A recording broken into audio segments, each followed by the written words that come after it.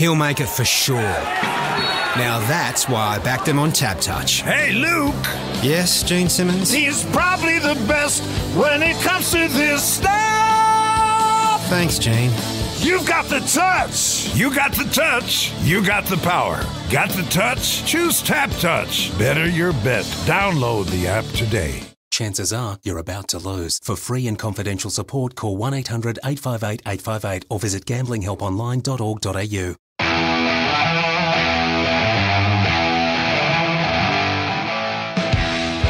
Hoops Heaven proudly brings to you Basketball Hustle. Ellis fumbled the ball. Two on the shot clock. Goes up a prayer. Yes! As he was falling to the ground, it's a three. He push shot it literally from the hip. Definitely a highlight. Here come the Billikens. Four on two. McCall. Ellis. Left corner. We missing out. Bang! From way down under. Cody Ellis. Now it's time for another episode of Hoops Heaven's Basketball Hustle.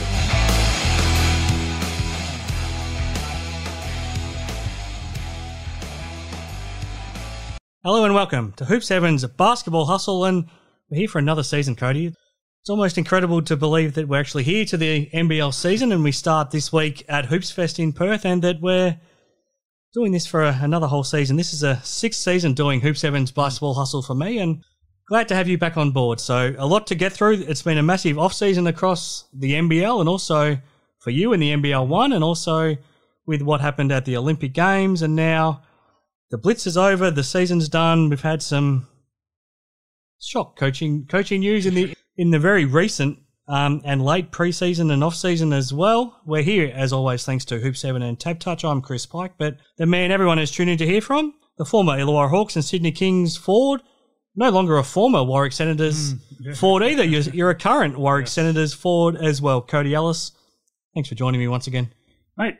Good to be back again. I can't believe it's uh, it's it's here again already. Yes. It uh, seems like five minutes ago we were you know talking about how uh, how good Tassie was, Mm. and uh, yeah, looking forward to the upcoming Olympics and, and the big off season of, of basketball going on. But uh, yeah, look, excited for the upcoming season and lots going on, lots to talk about Mm. uh, for our first episode, and uh, just ahead of Hoops Fest. So looking forward to it. Yeah, a, ma- a massive week ahead. It's only a couple of days away now, and all games in Perth this weekend. And looking forward to seeing how the old Challenge Stadium looks with some know. basketball action back there, and then the other three games all at RSA Arena, starting with a championship rematch as well with Melbourne and Tasmania on Thursday night, which is exciting.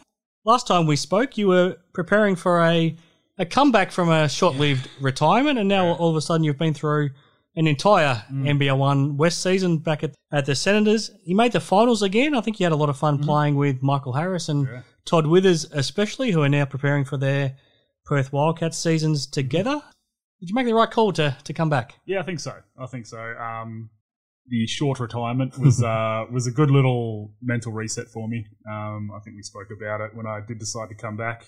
Kind of that five six months of not even thinking about Mm. playing or anything like that uh, was was something that I wasn't really aware that I needed at the time. So um, you know, it's, it's one of those things that if I had have said, all right, I don't want to do preseason and this and that, I'd still would have had the season on my mind and all that. So I think just a complete separation for, for that few months was really good and really what I needed. And when I came back, look, obviously I was playing catch up all season, Yeah. so that wasn't fun. Struck down with illness more times than ever before. I think I missed more games this season than I have in the entire rest of the time I've played Yeah. for the Senators. So, Yeah. um, and again, stuff that's was kind of out of my control, unfortunately. So, um, no, look, I, um, I had a had a lot of fun. It was a lot of fun playing, and like you said, you know, Mike Harris and Todd Withers were, were a lot of fun to play with, and two unbelievable human beings, not just not just basketball. So, um, you know, really looking forward to see how they go with the Cats this season, and hopefully both get some opportunity and, and run with it. And Yeah. um, yeah, look, uh, yeah, it was a lot of fun. Interesting season as well. I think from, from a men's point of view in the NBL One West, we got a grand final that I don't think any of us expected when we ended up seeing Yeah. the Willetton Tigers, thanks to Marshall Nelson's heroics, and then the Mandurah Magic, thanks to thanks to Joel Murray, more than more than anything, who was the MVP of the league, who came from came from nowhere virtually to play here for the first time, and then Mandurah winning a first ever championship. It was a, a season of unexpected happenings. It was such a fun grand final to watch. Yeah. You know, Willetton, Willetton were in control for 98% of that Yes. game. And, uh, said, just the, the heroics late Mm. in, in the game was, um, was, yeah, it was a lot of fun to watch. And it was, yeah, again, a very very surprising grand final matchup. Probably not so much if you had have called it later in the season, Yep. but if you had to call it preseason, you would have said, you know, you're dreaming. So Yes. uh, no, look, it was it was good, and um, Utley uh, doing a, an unbelievable Mm. job with, with the Magic and just finding two absolute diamonds that were just ended up being just some unbelievable again human beings from what I hear, Yeah. um, as well as great basketball players. Um, because I think Durr was, was probably one of my favourite players outside my own team, Yes. obviously, um, around the league this year. Yep. And I think he kind of went a little bit unspoken about because of you know Yes. be- because of the elite teammates he had as Yeah. well. So um, unbelievable job. Willetton were were awesome. You know, Nana running the ship Mm. at, at Willow just always has them up and running, and they're always tough to, to play against. And you're right, you know, Marty Nelson with some heroics against against his former side Yes, to, yes. to knock them out was uh, that was fun to watch as well. Played the grand final at RSA Arena for the first time. Did you like that? And is that something you would like to be part of, hopefully one day? Oh, absolutely. That was. Uh, I think that was great. I I Mm. think it was good. They, um, you know, the, the fans came out. It looked like it was, you know, a rocking atmosphere, Yeah, it was, and, yeah. and it was. Um, it was great. And I think it really just puts that extra bit of motivation for teams to, to Mm. make it and to, to be able to play on that floor because there's so many guys that have never and might never get a chance to play on that floor other than playing in a grand Yeah, final yeah. and it is something very special to play on that court. A lot of guys who are able to play on it constantly may take it a little bit for granted because it's just it is what it is. You're able to be able to play on it as many times you do. Yeah. They, some of the Cats guys, you know, they train on it all the time, Yeah. and um, Especially the women. That's their, Yeah. their one and only chance. Exactly. Yeah. Exactly. So I think that's um, an awesome little added incentive to to making that grand final, and yeah, it was it was awesome. It was great to see. Hello to Elvis as well, our third co-host. Yes. He's, he's enjoying our, our new surroundings. Welcome back for another season, Elvis. Um, last one on the NBL one, and then we'll move on. The national finals. So it Hmm. happened a week after the, the grand finals as well over on the, the Sunshine Coast. Disappointing that, again, we couldn't get the NBL players involved. So you had an Eltham Wildcats team that didn't have Owen Foxwell or Angus Glover. We had the Mackay Meteors who didn't have Isaac White or or Luca Yates until the final on the Sunday. He did come back from Illawarra and then no Todd Blanchfield as well. And um, the NBL One North women's women's teams, all, all of their top four weren't able to play, so that, that didn't end up being being great. I feel like in theory it's a great idea, but the execution's a little bit trickier. Yeah, it, it certainly is, and it, like you said, it's it's an awesome idea, and Hmm. I'm, I'm something that I've wanted to have happen for quite some time, Yeah. and just to be able to get the best teams in the country all together in the one spot over a weekend and playing against each other is an awesome idea, but putting it into practice is a lot harder with how close the seasons are together. Yeah. Not overly sure how you change that, Mm. whether you shorten the NBL one season by a fair bit. Yep. It'd have to be three or four weeks Yeah. to be able to do it properly. Yeah. Um, but again, that's not ideal because lots of the leagues play lots of games already, Yeah. and there's already too many double headers. And And is it worth doing that for the benefit of the national finals, but then hurting the NBL one season? Yeah, exactly. I mean, there's a trade off for everything, isn't there? exactly, exactly, it's a it's a fine line, and I'm not really sure if there's a way to get it right. I, I Mm. don't really think there is, unfortunately, Yeah. and I think that it's frustrating. It is frustrating because you know you watch some of these teams and you know how widespread the talent is throughout the whole Hmm. country these days. That uh, it, it it sucks that we can't get the strongest teams from around the country to all play with their full strength squad. Yeah. But that is what it is. You know, it- it's something that they've just got to keep trying to work on, and they may get it right at some point. Hmm. They may never get it right, Yeah. but um, you know, it's it is tough. And I, I think from what I heard, the advertising of it wasn't great over No, there. Like no, no, one really knew it was No, on. So no. When- no, I was over there. We didn't get a lot of people turning up for the games, and I, I don't think it helped that there was no local team there. Mm, so the closest, the closest men's team for the Sunshine Coast was Mackay. That's not exactly close, and and their women's team was the was the the Southern District Spartans, which Yeah. isn't that close to And again, they're all Sunshine Coast either. they're all rival clubs anyway. So Yeah. it's a tough one. When it was here in Perth, I think it was done was pretty well. Yeah. I think that the advertising of it all and the fact that kind of lots of people came and watched teams that weren't necessarily from here. But, Mm. but again, that was kind of the, the first real go around of it. And it's an interesting one. I think there's lots to work on, but uh, like you said, it's good in theory. Um, we'll get to the NBL very quickly. Last thing, the biggest part of the off season was the Olympics and seeing especially how the Boomers and the Opals performed. In the end, the Boomers, I think, disappointing the way they finished up in the quarterfinals. Yes. And then the Opals did a great job, I think, to end up bouncing back from a slow start to end up winning bronze. Mm-hmm. What did you make of what you saw in Paris? Yeah, look, it was uh, an interesting week Mm. um, of watching watching both the men's and women's programs. Um, like you said, the men's not quite living up to the expectations of, of what we've come to know from the Boomers, and you know, especially going in with the mindset of medal or medal or Yeah, bust, really now, which is, I mean, rightfully so with the amount of talent we have. Mm. Um, I don't think the team was overly balanced. Mm. Um, I think we, we kind of knew that. Everyone knew that kind of going in. I Yeah. think um, you know Goorj and his staff had you know a, a plan in mind and didn't quite come off, Mm. unfortunately. But look, I, I think to be able to get that experience through some of the younger guys is only going to be good moving forward for them. Mm. Um, there, there's lots of guys there that will be the, the face of the Boomers Yep. moving forward. Um, you know, it's probably the last we see of, of Paddy and Joe Yep. um, in the jersey anyway. Yeah. I, I hope to see them on the coaching staff. Mm.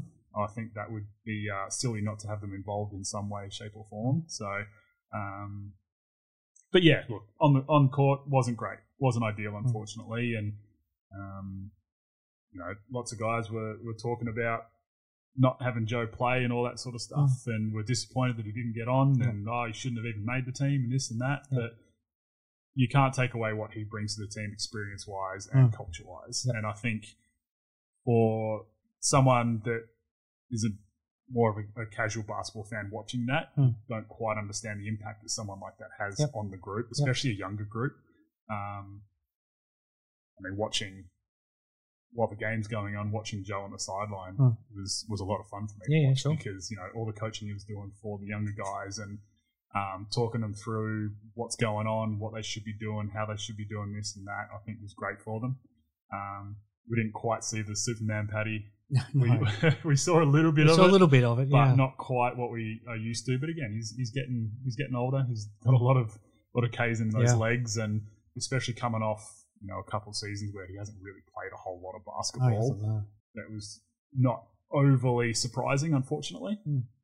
Um, on the women's side, I think that the fact that they kind of laid an egg in that first game and came out and got punched in the mouth, and Mm. then figured out how to turn it around and, and come out and be tough and you know play that opal style of basketball that again everyone's come to love and enjoy watching, um, and then end up with a medal is is awesome. Yeah. So um, look, I think they were great, and watching that that bronze game was awesome. It was a wicked game. It was one of my favorite it games of the whole tournament, men's and women's. So uh, yeah, no, it was it was good. It was good sitting up there yelling at the TV and jumping up and down, and my wife and son thinking I'm crazy, which is which is pretty standard this time of year. So uh, no, it was it was good.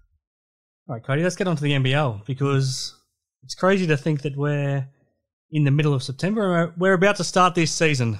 As you said, it doesn't feel like that long ago that we were watching the Jack Jumpers win that championship and, and make history, but now the, the Blitz is done. The Brisbane Bullets went through undefeated at the Blitz and and they claimed the, the Loggins Bruton Cup and Tyrell Harrison won the Ray Borner medal. He's quickly becoming one of the stories coming into this season. I think he's ready for a breakout season. Um, you don't always read a lot into results at a preseason tournament. And in fairness, if we go back through the winners in past years, we've probably seen more teams end up finishing last than win a championship that have won the, the Blitz. But um, from what you saw over on the Gold Coast, what did you what did you make of things?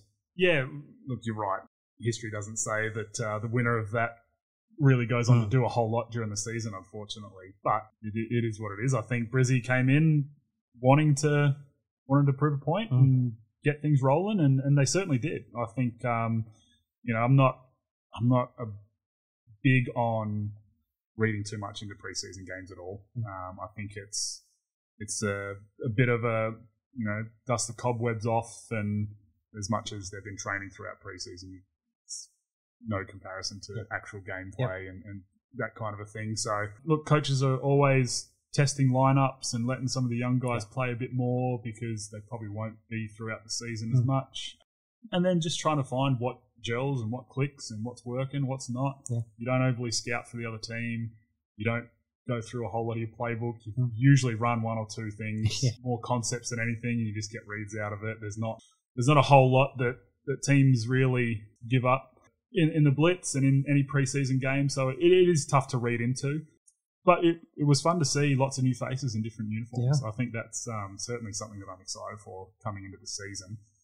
But yeah, look, we saw Adelaide looking really good and then lose by 50 when when most of their players weren't playing. Yep, You know, they, yep. they basically put a NBL one team out on the floor. And again, that's what it's for. You know, you don't want, especially the week before the season, you don't want one of your star players to go down hurt. And we've seen We've seen that of with a couple of teams, yeah. So yeah, look, it's, it's tough to read into it, but um, again, good to see everyone out there and, and playing again, and um, to see all the teams competing. Not only did we see a couple of injuries, we've seen a suspension come out of the blitz as well. Um, you were you were busy watching watching Hawthorn play at the same time, Yes. but when you caught up on what Gillespie did with his headbutt on Sean Bruce from the New Zealand Breakers, I think a lot of people naturally thought Brucey took a dive when they first saw it, Yeah. but then once they saw that the cut was above his eye, they realised that he didn't take a dive. Yeah. What What do you think of what happened, and is the one game suspension fair enough? It's tough. It's yeah. You bring up a sore point in Hawthorn, by the way, so thanks for that. But yeah, look, that's it's one of those things that because it was Brucey, you know, he's kind of that antagonizer. He has Mm. been his whole career, and um, that what that's what makes him great to have on your team, right? He's, he's that guy that gets in the opposition's heads, um, whether you think it's good or not. It's what he does, and he does it great. So he's obviously chirped and got into Gillespie's head, and as a new import in the league to snap like that in a preseason game, and I mean he was walking down the other end, and he just kind of turned and beeline straight for Sean, and yeah, I mean I was, I was pretty shocked when I first Yeah. saw it. I was, was uh, yeah, it was it was an interesting one. So I mean it's he's a he's a big dude, Mm. so coming at you and throwing a headbutt at you. I mean. All those people saying that Brucey took a dive. I'd like to see any of them cop a, a, Yeah. a headbutt from someone six ten. So uh, you know, it's it's tough. And then yeah, obviously splitting his eye open. That's um, that's legit. Do I think the two games down to one with an early plea is enough? Absolutely not. I think the NBL probably needed to set a bit of a precedent here because now it's I can go out and headbutt someone and Mm. I'll just miss a game. You know, like it's it, it's something that I think they could have really stamped a bit of authority and given him three, four games. You know, um, because yeah, especially being a preseason game, it, it's just it's one of those things that the game doesn't matter. Mm. Honestly, it really Mm. doesn't. I think it was like an eight point game with about a minute and a half to go. Anyway, it wasn't. It was pretty much over anyway. So, um, but on the New Zealand side, like to see your import snap like that Mm. this early in the season, I Mm. think is a bit of a red flag and Yes. some, probably some warning signs. So it's uh, yeah, it's going to be an interesting couple of weeks moving forward. Um, Well, there's a real chance it cost them their first game as well against Yeah. against Brisbane when they now come up against Tyrell Harrison and Rocco Zikarsky without their starting five man. well, that's it. And they don't they don't have a whole lot of other bigs Yeah. to be able to back back him up. Yeah. So um, you're right, could cost them their first game of the season, unfortunately. But uh, yeah, lots of uh, lots of interesting stuff to, to start the year. So All right, Cody. Before we take our first break, let's go through some of the big big off season news because it was a dramatic period. It's fair to say, and no surprise to see that a lot of the drama was happening in Adelaide once again. I think we we're all pretty excited when Scott Ninnis was appointed to to be the full time coach back in Adelaide after what he did in the back end of last season, getting them close to close to getting back into the playoffs. He did a great job. He was pretty excited about the job. They built a team ar- around him. They started their their preseason campaign, and then as quickly as it started, he was relieved of his duties. I mean, before we'll go through the details, but when you found out, what was your reaction? Uh, shock, honestly. There was, um, yeah, look, obviously a show favourite, Scotty, but, um, yeah, look, I think that he did everything right to earn the contract that he got.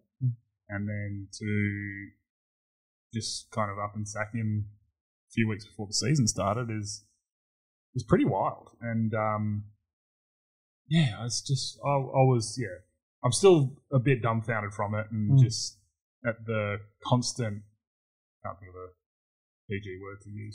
um, but just like uh, I don't know, the it's now been seen by everybody how I guess silly this management of Mm. the Adelaide 36ers are, and I, I don't know. It's just it, it doesn't make sense to me, and you know it sounds like you know half the playing group was Mm. you know in shock and also a bit pissed off about it as well, Yep. which is rightfully so because lots of those guys would have signed because Scotty was the head coach. Mm. Look, as as a player, you've just got to suck it up and move forward with it. But uh, but the, it's what's that? Five coaches in Yeah. five years Yeah. now. I mean, they've finally stopped paying off a couple of them, I think. Yes, but uh, but you know, you, you're paying all these coaches all this money for. Yep.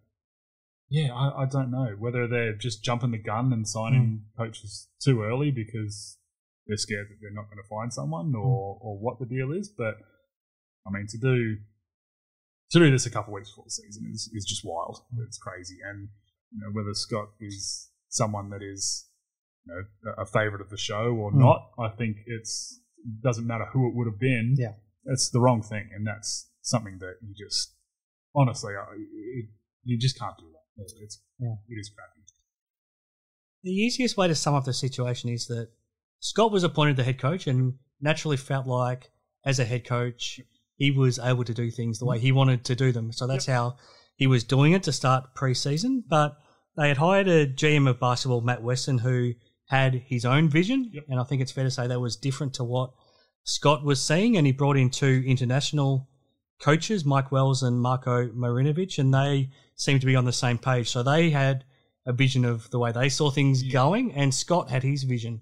I mean, in the end, the club backed in Matt Weston and his new assistants and decided they didn't like the way Scott was doing it. But um, if you appointed the head coach, surely things should be able to be done your way. Yeah, you hire people for a reason, right? Yeah. You know, you you don't hire a plumber and then tell him how to do his job, Yes. right? You know, Yeah. it's it's the same with this. You hire a head coach because you believe in them and their vision for what the team should be Mm. doing, and you know, we, we've seen this multiple times where you know management gets involved and it never works out well, Mm. No, no. and it's constantly not worked out well for the Adelaide 36ers. You know, we, we saw it with the Illawarra Hawks for a while there. You know, it just doesn't work out well. Uh, Sydney, Sydney Kings a long time ago when they had hundred owners. You know, When, when you were playing there, yeah, exactly. And it's just like it, it's one of those things that if management gets involved in what is being put on the floor in terms of like, oh, telling the coach you should be doing this, this, and this, it mm. never works out well mm. because you are not a head coach. You're the management, right? That's mm. fine. You can do all the all the managing and all that from behind the scenes, but you hire a head coach for a reason. There's there's no way you should be putting your fingers in the pie and saying, you know, you should be doing it this way and that way. So, yeah, again, we, we've yeah seen it too many times, unfortunately, but it is what it is, unfortunately, and, and it, that uh, Mike Wells, I think, will will be good. I mean, he's he's super experienced, so Yeah. uh, you know, I think, you know, he's he's been an assistant in the NBA and the NCAA and all that kind of a thing, but I think this is his first head head coaching, coaching job. job, yes. So it's it's one of those things, you know, you you getting rid of a, a known head coach and a Mm. proven head coach for someone that hasn't done it before. And has never seen but the NBL before. Exactly. It's Yeah. a completely different league. So look, interesting decisions, but it's kind of what we've come to expect from the 36ers, Hmm. unfortunately. Well, speaking of that, um, the New Zealand Breakers are in a fascinating situation as well. So, Mody Maor decided it was time to leave and took up a job in Japan. And best of luck to him because he did a fantastic job and he had to look after his family. And I'm sure financially it was a better offer and he can set himself up for, for his career. So, you, you can't fault a guy for, for, for making that decision. Um, but they've gone a, a totally different route with their coach as well. They've gone Petteri Koponen, who's come out of Finland straight out of playing. Yeah. So, like Mike Wells, he's a guy that's never seen the NBL before and never been a head coach before, and it's going to be fascinating to see how he goes. So he's never been a coach. yes, hasn't yes. been an assistant or anything. he's yeah. Look, he's I'm pretty sure he's 36 years old, so Mm. he's a year and a half, two years older than Yep, me. yep.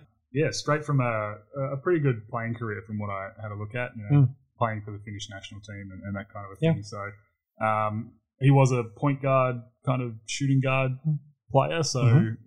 He, he's certainly going to know the game and understand the game very well. So um, You've done your research. a little bit, a Yeah. little bit. I had a bit of a look into him. So, but look, I, obviously Mody's going to be sorely missed. Mm. I mean, he was he was so good for the league. He was so good for the Breakers franchise. I think that um, So good for his players. oh, just yeah, everyone everyone that you talked to said you know he was tough but fair, but Yeah. everyone loved him.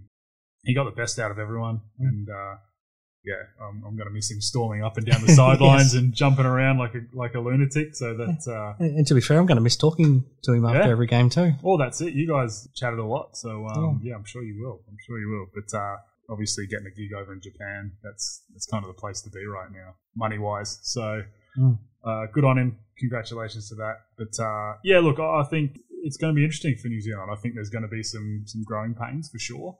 But to get you know Parker Jackson Cartwright back, think Yep. is, is huge for Yep. them.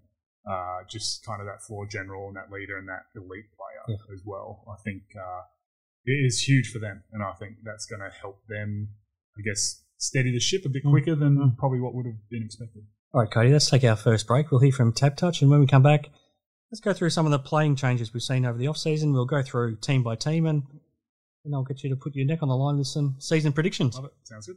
Can you picture the first goal before the ball has even bounced? Can you read the footy future in the mullet of a full forward? You've got the touch. Got the touch? Download the TABtouch app today. You win some, you lose more. Okay, welcome back to Hoops Heaven's Basketball Hustle. Our first episode now ahead of NBL 25. I'm here with Cody Ellis once again. Still going through what happened over the off season, Cody. Um, we had some big players departing us. Um, Jack McVeigh, the championship hero from the Jack Jumpers, has now become an Olympian and he's now also got an, M- an NBA chance. So congratulations to him. Mitch Creek, another huge loss at the Southeast Melbourne Phoenix. He's been there from the start. Those are two guys that are just impossible to replace. I mean, to find an import level player um, who who is a local, it's just it's so hard to find find them. Aaron Bain's gone from the Brisbane Bullets. Gary Clark not coming back to the Illawarra Hawks. And then three big losses from Melbourne United: Ariel Hukporti, Joe Luala Chul, and Luke Travers. Um, anyone you want to comment on? Yeah, look, I mean, they're all massive losses. All massive losses to, well, firstly, their teams, but also the league. I Mm. think that, uh, yeah, obviously, firstly, congrats to Jack on uh, getting Yeah. an NBA gig. I think that's great. Um, I thought he was awesome at the Olympics Yep, as well. yep. I thought he was great for the Boomers. Um, Baines is a tough one. I'd assume this is probably the end of his career. I think so. Um, and we kind of figured that that would be the case at the end of Mm. last season. We didn't think anyone else would really No. want to pick him up, unfortunately. And um, so, yeah, look, I mean, if, if it is, then uh, congrats on a heck of a career, Yes, Bainesy, yeah. because uh, it's been a it's been a lot of fun watching him. Um, and obviously, very sad with how it's finished. Yeah. But um, yeah, look, Creaky, massive loss. I think Mm. Southeast Melbourne went from, or in my books, one of the favourites to to the title when they signed Sobey to now kind of missing that that key piece. Yep. Um, Yep. And uh, yeah, look, I was really looking forward to seeing those two um, Yeah. back together and, and how they'd play together after And, and, both. and Derrick. Walton too, because I still Yeah. remember that game. Was it in Gippsland where Yeah, Walton and Creek went head to head and scored forty points each? it was Oh, like I think 49 and 48 or something like I mean, that. Yeah, so to see them as teammates would have been fun. Would, yeah, it certainly would have been. That was uh, that was a wicked wicked game. Gary Clark's a huge loss for, for the Hawks. Um, I think he was an absolute game changer for them and kind of put him on his on his back Mm. and, and carried them along late in that season last year. Hukporti and JLA and Travers. I mean, that's three massive names, all departing from the one team. Mm, mm. so you know, for, for Melbourne to lose three guys of that caliber is is is massive for them, and that's something that they're going to struggle to fill fill the void of those three. But I think they've done a good job of recruiting um, to to cover as much as possible. But yeah, look, eh, there's so many big names in there that are all super talented, and oh, again, lots of them local Mm. uh, that we're really going to miss in the league. But um, yeah, look, good luck to all of them. There's some big names coming back to the league as well. Jarell Martin, unfortunately, his return in Adelaide after playing in Sydney has has hit a bit of a speed bump, so we won't see him for a little while. But Deng Adel is looking like he's ready to to have a big season in, in Brisbane. Jack White will help cover those losses Yep. in Melbourne. Mojave King will be fascinating to see how he goes a couple of years after his last last stint. We touched on Derrick Walton Jr. now coming to the Phoenix. and then Xavier Cooks and Cam Oliver together in that front court at the, Yeah. at, at the Sydney Kings. Yeah, look, lots of lots of big returning names, which is great, and uh, you know, hopefully in the seasons to come, we can see a few of those departures uh, start to return. But uh, look, unfortunate for Jerome Martin. I think that Mm. that really hurts. That sucks. But I mean, Mm. it's it's opened up the door for a, a pretty big signing that Yes. we'll we'll talk about soon. Deng Adel, you're right. Looks looks really good. He Mm. looked really good so far from what we've seen, and um, excited for him to have a big season. Yep. Um, you know, he's he's one of those guys that's kind of been just on the cusp of being absolutely elite, Yeah. and uh, didn't really have a great stint when he was here last time. Mm. Um, so really looking forward to seeing what he can produce. Jack White, fun to have him back. He's going to be great. Feels a void for kind of that in between what Luke Travers and Hukporti were. He's kind of in Mm. Yes, between is, those yeah. two. Yep. So um, it'll it'll be really good to see him, and especially after another season under his belt Mm. after his his pretty bad injury. Yeah. Um, Harvey King looks unreal as well. He Mm. looks really really switched on, really ready to go. You know, it looks like he's gone away and worked on his game in the past Yep, twelve months, yep. which is great. And um, I'm expecting a bit of a breakout year from him Mm. as well. Derrick Walton again speaks for himself. I mean, he he's going to be a lot of fun Yep. watching him with Sobes. Yeah, but Zave Cooks and Cam Oliver on the same team i- is is terrifying. Mm. Yes. I mean, that's two NBA caliber players that teams are going to have to try and figure out how to guard Mm. because that's uh, in terms of stretching the floor, probably not the best. Mm. But uh, I don't know how teams are going to be able to cover these two guys because they're just both very dominant and have proven that to be dominant in this Mm. league, and uh, they're going to be fun to watch. Yeah, and then you throw in everyone else on that team. You've Yeah. got Galloway and Tui and Adams, and yeah, we'll get to that shortly. Um, from what we've seen of the new faces, a lot of teams have gone for new point guards. So we've got Kendrick Davis in Adelaide, James Batemon in in Brisbane. Um, I think Rob Edwards so far, I think, has been the standout that we've seen from the three in Cairns. Um, Darius Days at Illawarra has big shoes to fill to try Yes. to cover what Gary Clark did. Freddie Gillespie, not a great start at New Zealand, as we talked about, but Matt Mooney is showing good signs. Dylan Windler's come to Perth. Joe Wieskamp at the Phoenix. DJ Hogue should have been on a different list, so ignore that. From the new faces, what do you what, what have you made of them? Yeah, look, again, it's it's tough to say. It's tough to say because it's preseason, but um, I'm intrigued to see what Days does. Like you said, he's got massive shoes to fill. Yep. Um, but I think he's got the potential to be able to, to fill them. Yeah, Um, yeah. Again, new to the league, so it's going to take him a while to figure Hmm. it out. I, I think he will. It's fascinating, isn't it? You get some strange ways players end up being signed. So he was he was out here playing for the Shanghai Sharks. Yeah. They played a preseason game against the Hawks. He hits five three pointers, I think, in the first first half. Yeah. A couple of weeks later, the Sharks decide not to sign him, Yeah. and he signs at the Hawks. There's some fascinating ways guys It end up being signed. Yeah, very much so. Very much so. But um, I I think that you know, with with the Shanghai team, they can have like seven imports on those Yes. teams, so Yes. it's, it's a tough one.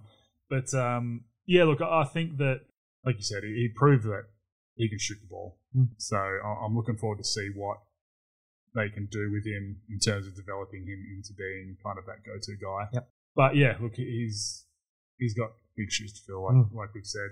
And then yeah, look, Freddie Gillespie, I was kind of intrigued to, to watch play. Mm. I think that um, again, it's kind of like the, the Derek Pardon. This Yes. is this is his replacement. Yeah. He's going to be better than him. And, Yeah.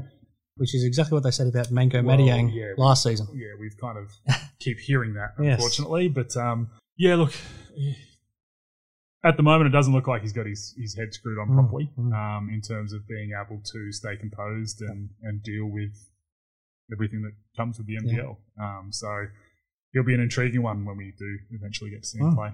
What about the next stars? So we've got Rocco Zikarsky coming back to Brisbane, Alex Tui coming back to Sydney, and then new faces Malik Lewis at the Phoenix, Ethan Almanza at the Wildcats, and Karim Lopez at the Breakers, and then Roman Siulepa is the fascinating one. So he Mm. had signed at the Tasmania Jack Jumpers. Scott Roth wasn't happy that he wasn't as committed to basketball as he would have hoped, and he wanted to keep coming back to Brisbane to play rugby. Yeah. But from all reports, he's going to still end up being signed by another Mm. team as a next star. What are your thoughts on that, first of all, and the next stars class? Yeah, well, that's yeah, that's it's it's an interesting one, right? Because it's like if you've got the NBL calling, then you give every other sport up. You would think so. You'd think so, yes, right? Yes. So I don't know. He, he's got to figure out what he wants to do. Mm. Um, and once he does that, then you know, good luck to him. Mm. Um, but I think he could be. I think he can be an elite player, Yeah. um, especially in the NBL. So interesting start to his uh, Mm. his NBL career, but um, we'll, we'll see what happens with him and, and where he lands. But yeah, look, the the crop of next stars looks looks fun. Um, excited to see it. Obviously, we know Rocco and, and Tui, um, so we know what we're going to get out of those guys. I think they're both primed for big seasons. Lewis, G League player, I think he's going to be decent. Mm. Um, you know, Almanza, I'm actually really excited for. Yeah. It's kind of that void for, for Alex Sarr a Yep. little bit, trying to fill that void. But uh, I mean, he's had an elite, absolutely elite, like junior Yes. national career already. Two gold medals and a silver medal and MVPs at national Yeah. tournaments, and he's uh, he's already got a heck of a resume. So I'm really excited to see what he does. Look at this research, Cody. and then Lopez, yeah, look, um, from what I read, was a you know kind of a long, lanky, great defender. I Yep. think he's going to be fun to watch because Yeah. we don't really get too many great defenders like No. that th- through the Next Stars program. Um, And, and I think, like Rocco and Tui were last year, I think he's a two year project for the Yeah. Breakers. So it'll be good to see him develop over over that period. well, that's it. I, I think that seeing guys develop over a couple years is, is awesome. Yeah. and I think that's something that hopefully the Next Stars program, while we want to have guys come in, develop, and go straight to the league, Hmm. I think to be able to watch them develop over a couple years and then get to the Yeah. league is is something that I think the NBL would be able to hang its hat on and say Yeah. that that's we're definitely a, a stepping stone to Hmm. the NBA and, and young players' development. So um, no, looking forward to it. I think it's a it's a good crop of players, and hopefully Roman can figure out what he wants to do and, Yes. and either sign with someone or or go play rugby. yes, well, it has to be one of the teams that doesn't have a next star at the moment. So Yeah.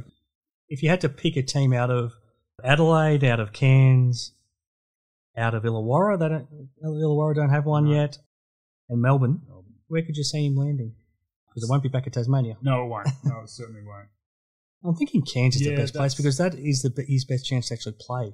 I think that's yeah, that was certainly where I was leading, probably closer to home too. Mm. So yeah, uh, it'd be great to see him on on a Cairns like team, especially under forty. Yeah. I think forty would be good for him Yeah. to to kind of figure out what he wants to do Yeah. and. 40 is going to get the best out of you, you know, like Scott Roth does with his players. Yes. 40 is another one that gets the best out of his group all the time. So, yeah, I think that would probably be the the right choice. But again, just depends on what other teams are, are Mm. willing to, to do and throw at him. All right, let's go, start going through team by team how everyone's shaping up because the season's now only days away, Cody. Um, let's go alphabetically.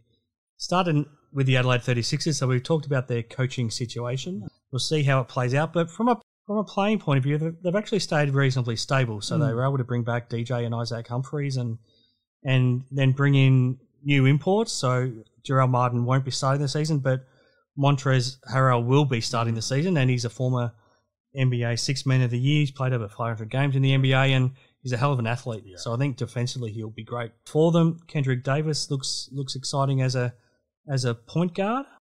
Despite all the drama, their playing group actually looks pretty good. Yeah, it does. And, you know, that was a big reason why I was excited to Mm. see how these guys went. We have fallen into this trap before We with have. Adelaide, though, haven't we? We certainly have. So, I mean, to bring back DJ and Isaac and even Jace Cadee Yep, yep. uh, as that veteran, um, level-headed guy. Um, Sunday Dech is, is a defender that you can throw out there. And think fresh off going to the Olympics yeah, too. yeah, I think that's great. Young guy, Nick Marshall. he's fresh off an MVP in yes. NBL One South too. Yep, yep, which is great. Alex Starling, who just constantly dominates NBL one. Mm. So um, Mm. I think that's that's a good returning crop of guys. Montrezl Harrell, that's a massive signing Mm. Yes. and something that I'm super excited for. Mm. I'm really excited to see him play. Their only issue is going to be wanting to keep him Yeah. when when Martin Yes. comes back, unfortunately. And I'm not sure how they're going to be able to do that. But like you said, I mean, you ran through kind of his, his breakdown, and he's from all reports, he's got his head screwed on right as well. Hmm. He's he works his butt off. He's constantly in Miami working out. And, Yep. You know, talking to some of my agent friends over there, like he's got constantly at workouts and working working hard and getting in the right shape hmm. and doing the right things. So it sounds like you know we we get a lot of NBA guys on the tail end of their career Yep. come down and they think they you know, come in and dominate and do all this, and they don't really um, have their head screwed on properly. But it sounds like Harrell does. Yeah. So if he can come in and do what he did in the NBA, Mm. um, as long as he figures out the refs again, like yes, it yes. seems to always come down to that. Unfortunately, Yeah. He's going to absolutely dominate. Mm. He's, he's going to be fun to watch um, on both ends of the floor. He's Mm. not just an offensive guy; he's uh, he's a really good defensive end. So yeah, look, I I think that great crop of, of players, and like you said, we've fallen into the trap before with, Yes. with Adelaide, but um, I am excited for this group because I think they can can honestly make a run if they all stay healthy and, and really all get on the same page. Mm.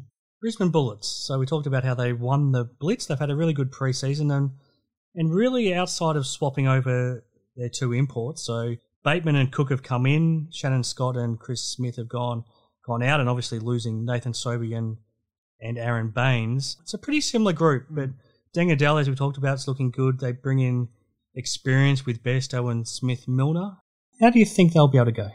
Yeah, look, I I think um, again, not reading too much into preseason, but you know they seem to all be on this on the same page, Mm. which is which is big going into the first round of the year.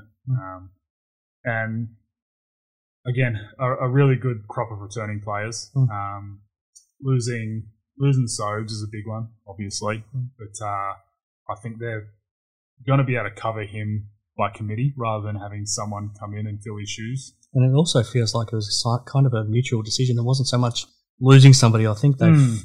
I think both parties felt like it was time to, to move on. Yeah, I think so. I think so. And look, that's I mean that's a good, healthy decision from from Mm. both parties as well. Um, so last thing you want to be doing is, is playing because you're not mentally Yeah. there. And, Yep. and same thing if you're if you're coaching someone that isn't mentally there, Yep. then you're not as you know invested. Then it, it's tough, especially a superstar like Sobes. Mm. So it's uh, it's a tough one, but like I said, I think they'll cover him by committee rather than having someone come in and just try and be Nathan Sobey. Mm. So um, you know, I'm, I'm expecting, especially their bigs, to have some breakout years Yeah. for sure.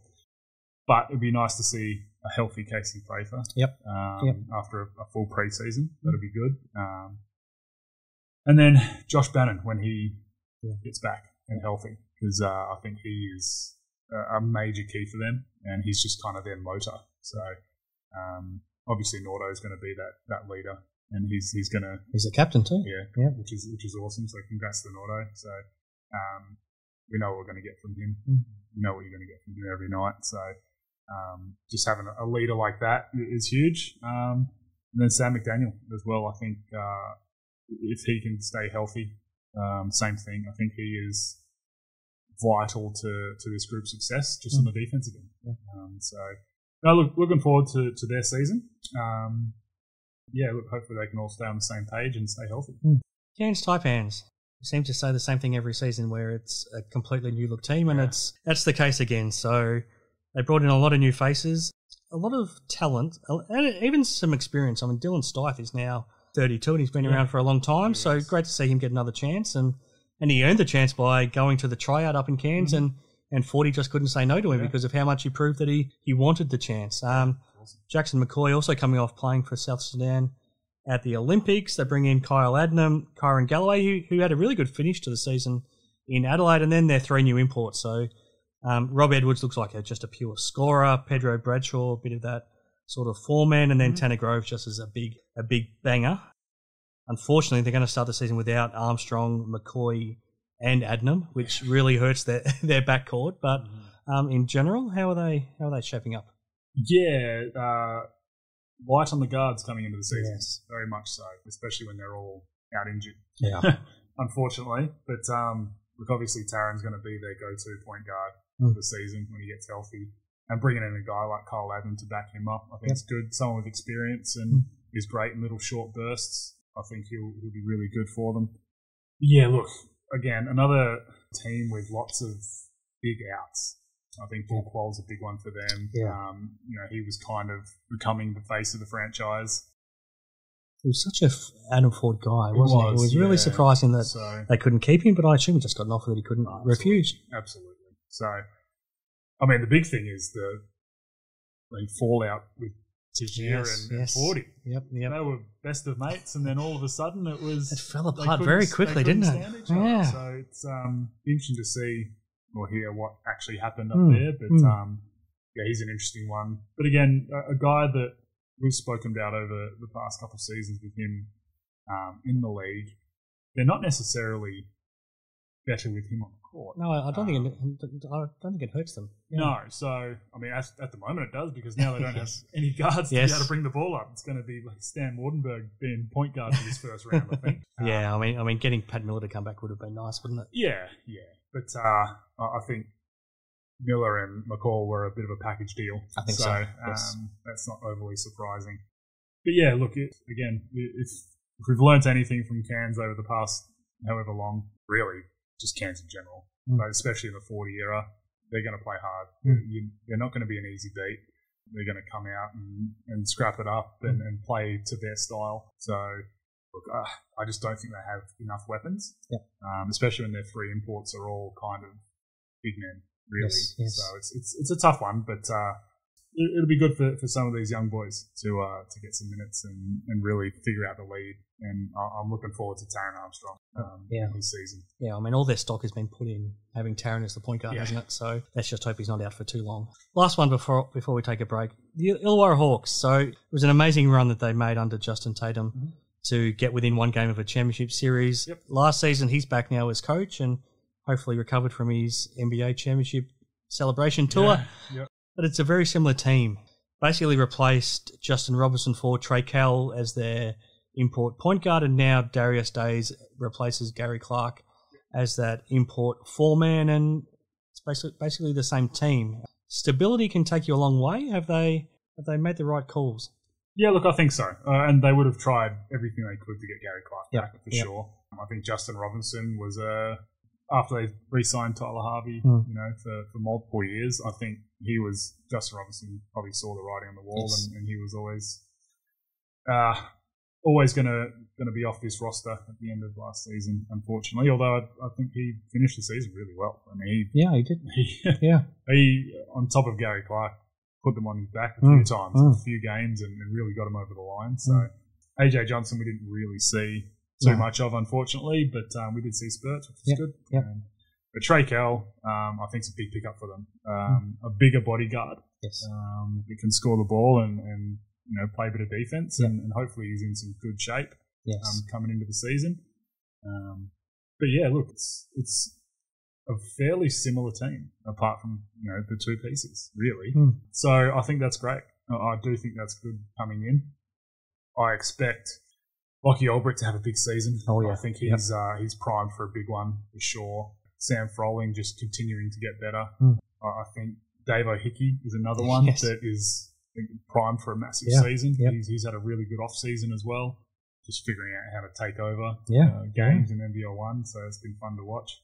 Obviously, Winey on the defensive end, and then Yep. Tyler Harvey. You know what we're going to get from him. So, um, yeah, look, I'm, I'm excited to watch these guys. Mm. I think that um, you know Tatum's going to have them ready to go, and um, it's, it's going to be fun to see what they're like after a full preseason with him. Mm. So, uh, yeah, look, really excited to see the Hawks play.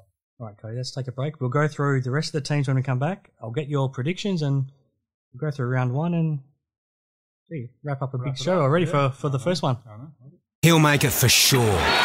That's why I backed him on TABtouch. You got the touch. You got the power. Got the touch? Choose TABtouch. Better your bet. Download the app today. Imagine what you could be buying instead. Okay, back on Hoops Heaven's basketball hustle. Let's keep running through how the teams are shaping up, Cody. Melbourne United. They would have been devastated the way they went so close to a championship last season and falling up short in game five. And not many changes, but significant ones. So basically, their front court ripped apart with Jo Lual-Acuil and Ariel Hukporti going.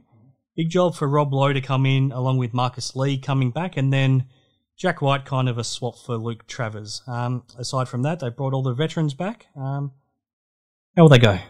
Yeah, look, obviously last year they'd be disappointed. So dominant all season, really, and just falling short. But what a grand final series that was. Yes. I mean, we spoke about it in depth, but I mean, that was still probably one of the best grand final Mm, series mm. I've, I've ever seen. So that was, someone had to be on the on the losing end, unfortunately, and it was Melbourne.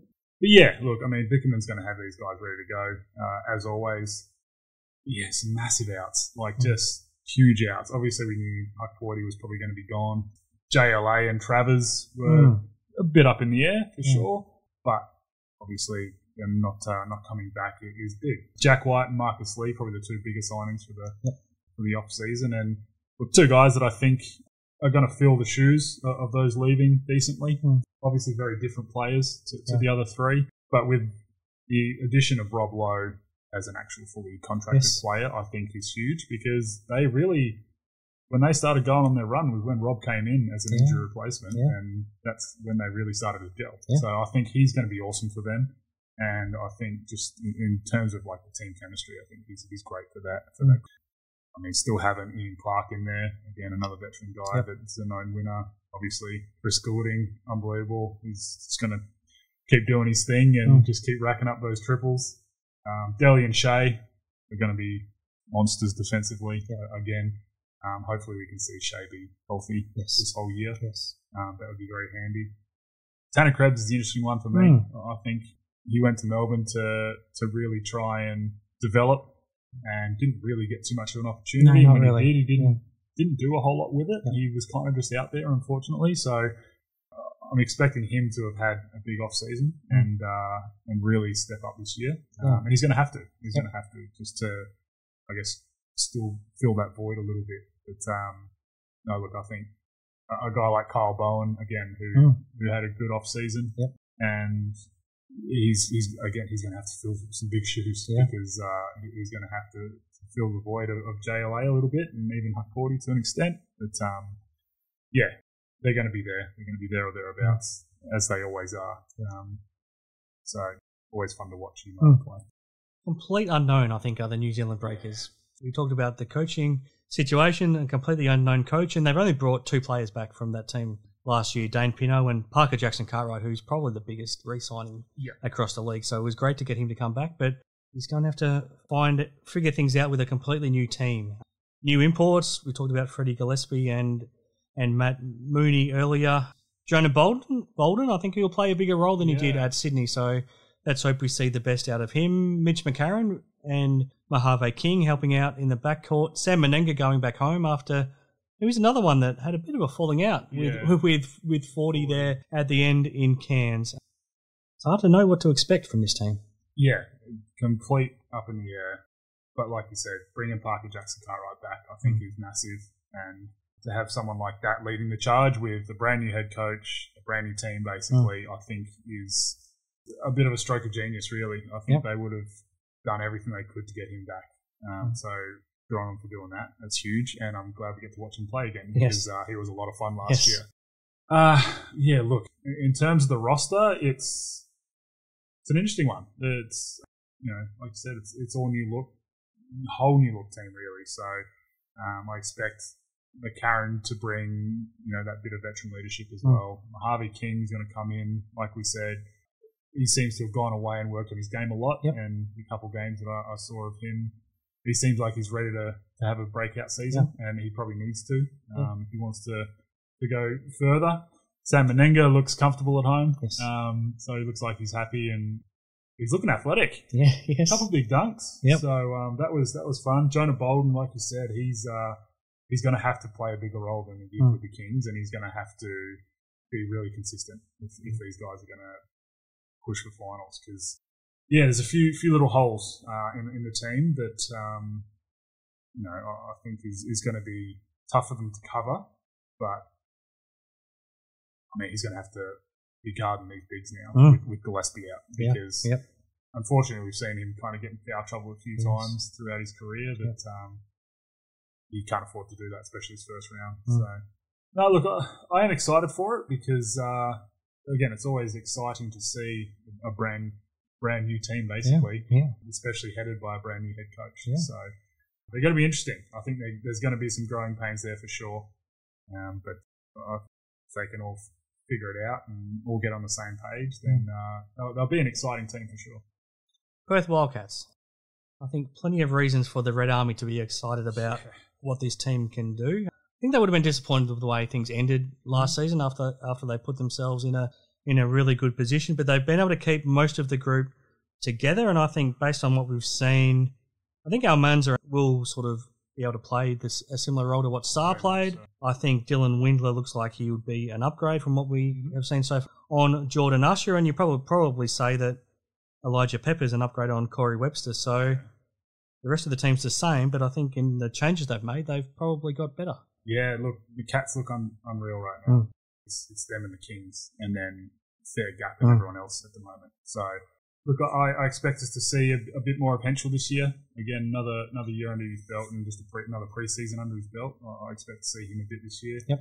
Bryce is going to do Bryce things. Mm. Always excited to watch Bryce play. Um, I think Aquera is he had a really good off season Mm. um, here in NBL One Yeah. West and, and played some really good basketball towards the end of the, Yep. the season and um, he looked, looked like he was in some good form going Mm. into into the preseason for them. Um, Hyrum Harris again, another guy that was massive for them last year. Just did all the little things. Mm. Just did all the little things. Keanu, I mean, he's he's always fun to watch, and, and he looks like he's in really good shape from the little snippets that I've seen. Doolittle's a good one. Uh, Doolittle, I was a big fan of Doolittle last Mm. year, constantly talking about him, and I think having that continuity in, within the group, and especially with imports, is Mm. huge. Um, obviously, Jesse, we know what we're going to get out of Jesse, and just that, just that veteran leadership from him, and Mm. being able to get everyone on the same page. Um, yeah, Michael Harris, like I Mm. said, I'm hoping to see some some minutes punch through him because, uh, like I said, I got to see him up close and personal Mm. this, this year in the NBL One West, and a lot of fun to play with. Absolute motor on him, can flat out score the ball. Really switched on defensively, which I think is probably a bit of an underrated thing from him Yep. that uh, people overlook. Because he's so athletic, he can just he can stay in front of people and he reads the game really well. So I'm really excited. And Mm. hopefully he uh, he gets some some opportunity there. Tai Webster, we know we're going to get from him, just a character, which is, which is always good. yes. But I thought he was towards the end of last year. I thought he did a great job of running the team. Yep. Elijah Pepper looks like an absolute flat out scorer Yes. and, a, and a bull. He's, Yes. he's, a, he's a big body, so he's going to be an interesting one. Kind of going to be Pepper, Harris, and Henshall playing for some minutes. Yep. So it's going to be interesting to see who, who comes out Mm. and, and performs. Windler, lefty shooter, so that's going to be Mm. it's going to be fun to watch. I think shooters usually do well in this league, Yep. so he's uh, he's a good pickup for them. And then Almanza, I think, is is huge. The the question mark over the Cats was always going to be how do they um, cover for Sarr, Yeah. for losing Sarr, and I think they picked up the perfect player. Yeah, they have. Yeah. the absolute perfect player, and he's he's probably one of my probably the top of my list of, of people to watch this season um, from his uh, you know, his resume already at such a young age, and, and what he's been able to do on the on the national stage already for him um, for his country, and the Cats are primed for a big season, and I'm sure Willie and his coaching staff are excited to, to get the thing rolling, and yeah, look, looking forward to the Cats for sure. Southeast Melbourne Phoenix, another team that's completely new look. So Mike Kelly coming to his first season. Simon Mitchell has had a big say in putting this team Yep. Together, and probably after the way last season went, they had to start st- start again in a mm-hmm. lot of ways. And why not go go and look at the Sydney Kings who have been so successful? So they've got Angus Glover, they've got mm-hmm. Derrick Walton, they've got Jordan Hunter, they've got Tom Vodanovich, who all played in championships at the Kings. They've got Nathan Sobey to come down to Melbourne. A couple of new imports. Joe Wieskamp is one of those. Matt Hurt the other. Malik Lewis the next star. Again, it's it's just a matter of how they all gel. Oh, for sure. And uh, yeah, look, like I said, Simon Mitchell, another good friend of the show, going and running it over there, which is awesome. And congrats to him for, for picking up that gig. That's great. Yeah, look, they look like they've uh, they mean business, obviously, with, with all the incoming players, and they've gone and got pieces that um, I think fit how Mike Kelly and his coaching staff really want to play. Mm. Uh, but again, another pretty much new looking team. Mm. Um, you know, you've got three returning guys that are all role players. Yep. And yeah, look, I, I think that uh, guys like Walton Jr., obviously, and, and Sobes are going to be the go to for Mm. sure. They've put lots of good pieces around them. Um, Geordie Hunter, I think, is going to be great for them. Yeah. Um, he's going to be the perfect, kind of the perfect big for Sobey and Walton Yep. Jr. Yep. Um, doesn't necessarily need the ball, Yeah. but is probably the best pick and roll big man in the league. Mhm.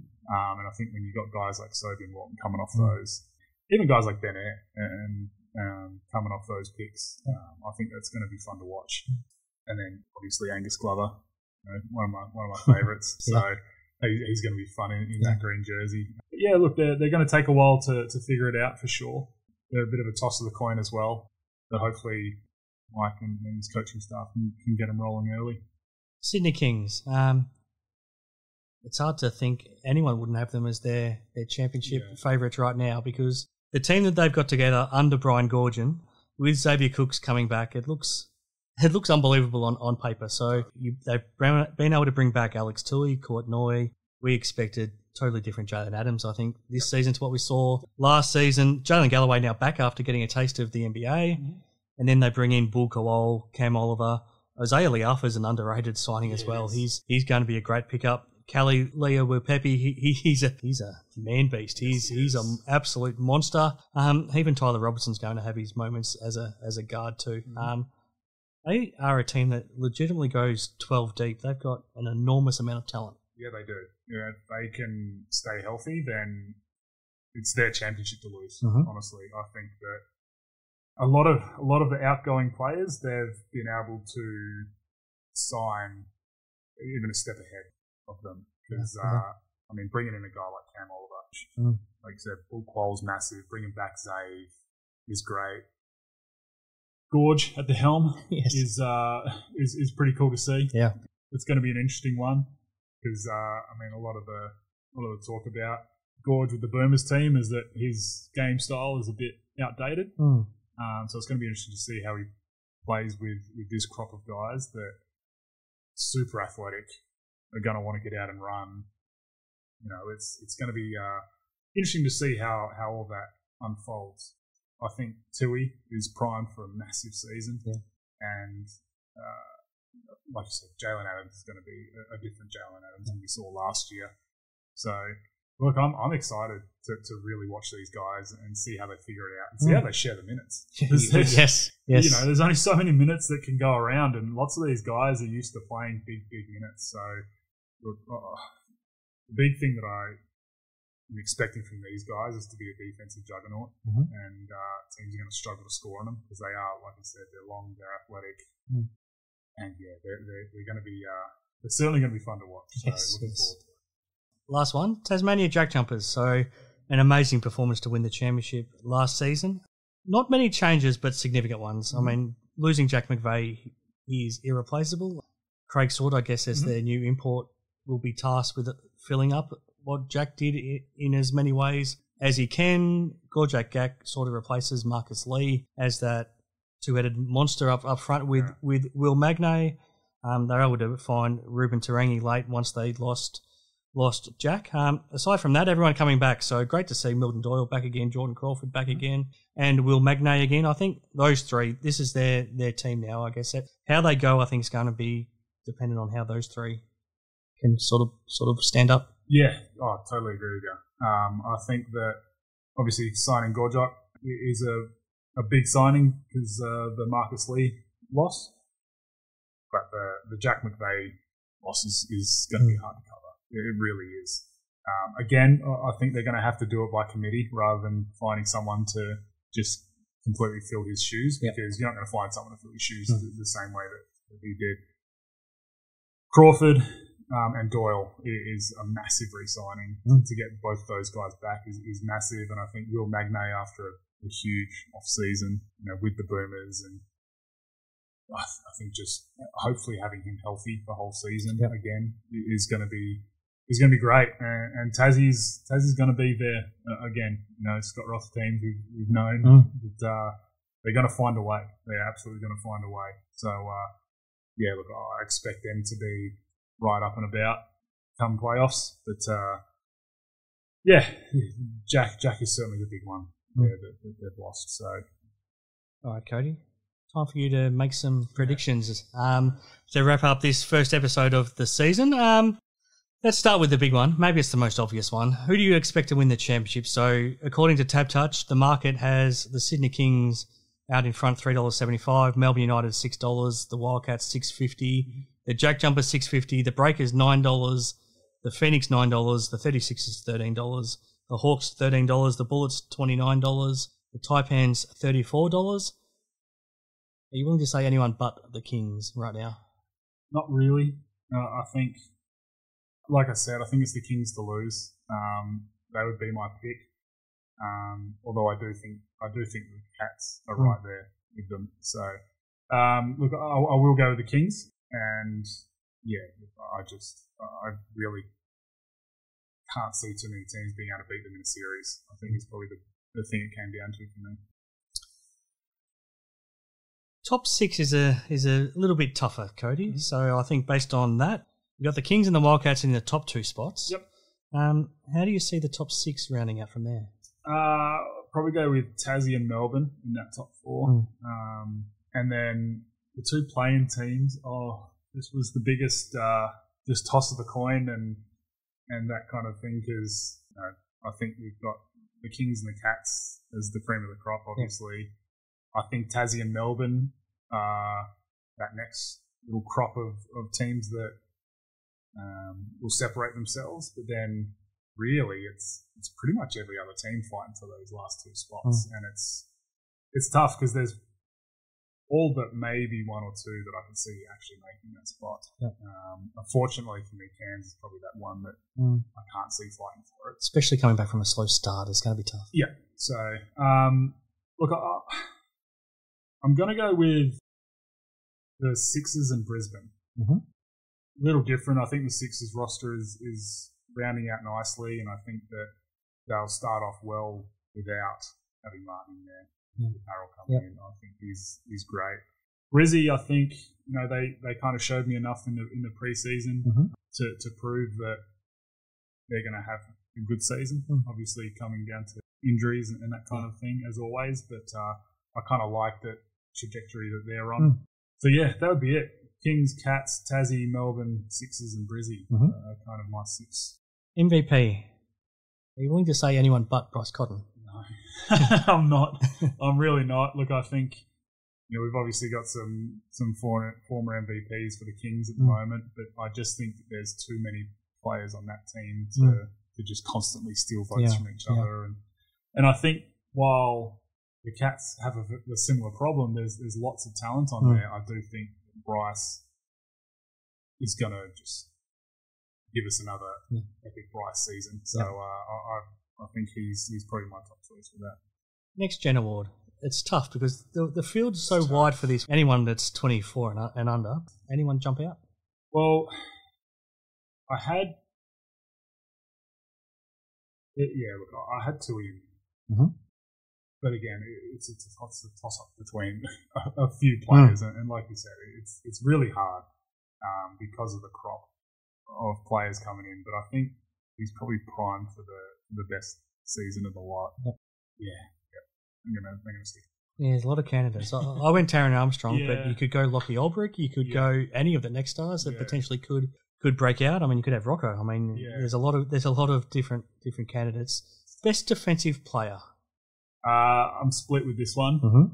between Shea and McDaniel. Yep. So they're the two I'm split between. I think, obviously, if Shea has a full season under his belt, it's, Mm. it's always his to lose. Um, you know, but I think you know Sam's had a proven few years now, Yep. and again, if, if Brizzy's going to really make a push for the playoffs, I Mm. think he's going to be a major factor Yeah. in that. So I can't really split them, Yes. unfortunately, and I don't like to do that, but uh, they're, they're my two at the moment. Yeah, I, I think Sam was unlucky to not win Yeah, it last year. Not not that Shea wasn't deserving, but I think Will Magnay will put himself in the Yep. in the mix too. Um.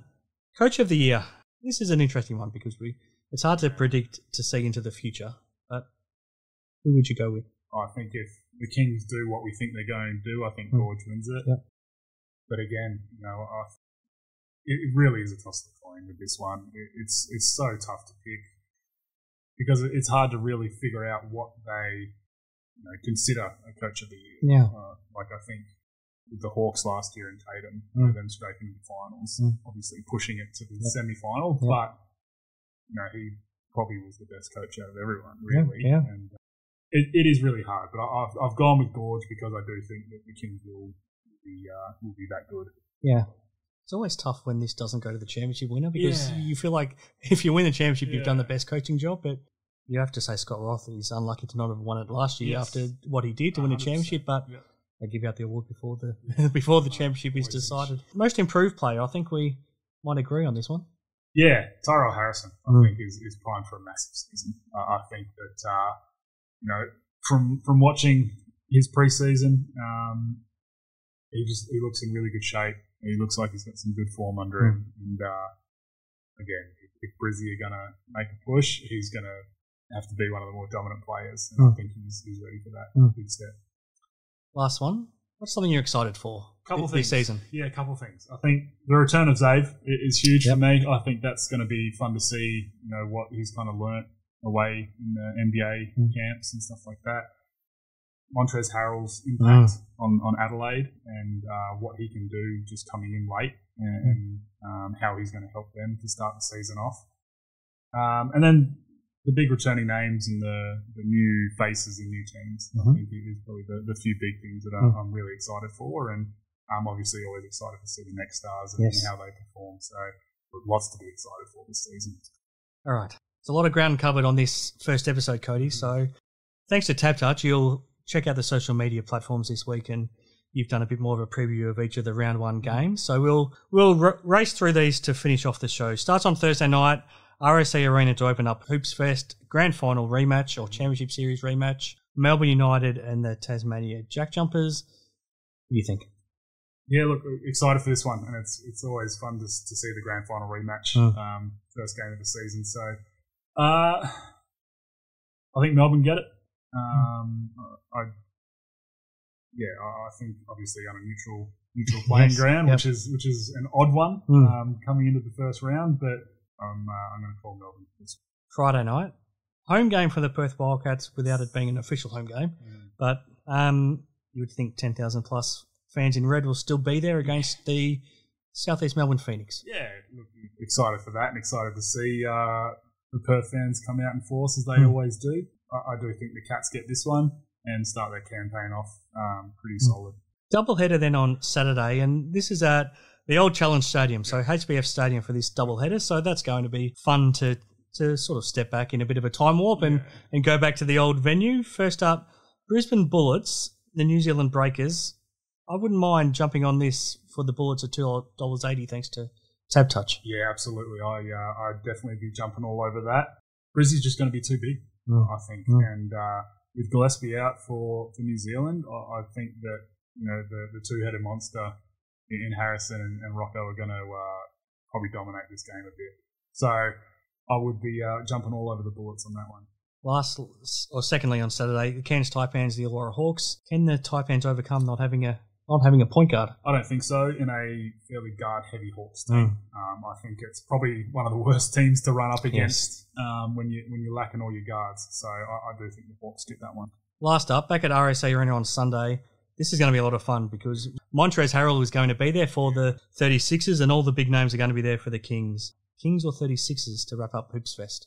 Yeah, this is probably the most exciting game Mm. of the round for me because uh, of, like you said, all the big names. So look, I, think the Kings do get it, but I reckon uh, Montrezl Harrell comes in and really stamps Mm. authority. So looking forward to that.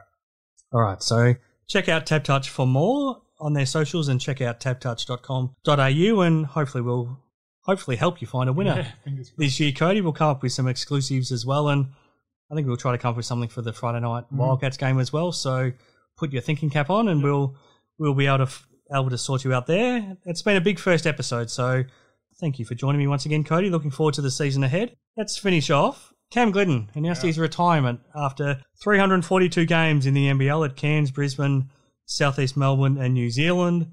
He's third all time in the 40 minute era for three point makes, and he's now already got his first coaching job as as well. So he hasn't wasted any time. He found a found a second home for himself over over in New Zealand. Um, like you, he's a, a WA product who made it big on the on the world stage. Um, how about we finish off with some words about about Cam from you? Yeah, look, always one of my favourite players to watch. You know, like you said, WA product, which is which is always fun to watch. Um, you know, no matter what team they're playing for. So, look, lucky enough to play with Cam at, at under twenties, and then uh, yeah, look, obviously I've watched every step of his career since. So, look, massive congratulations to him, him and his family. Um, heck of a career to be third all time in three pointers in the forty minute era Mm-hmm. is uh, there's nothing to laugh at. That's uh, that's a super impressive stat, and uh, especially with the uh, amount of talent we've had running through um, the league. So um, that's that's awesome, and uh, hopefully he enjoys retirement. And, uh, looking forward to seeing what he does with his coaching career.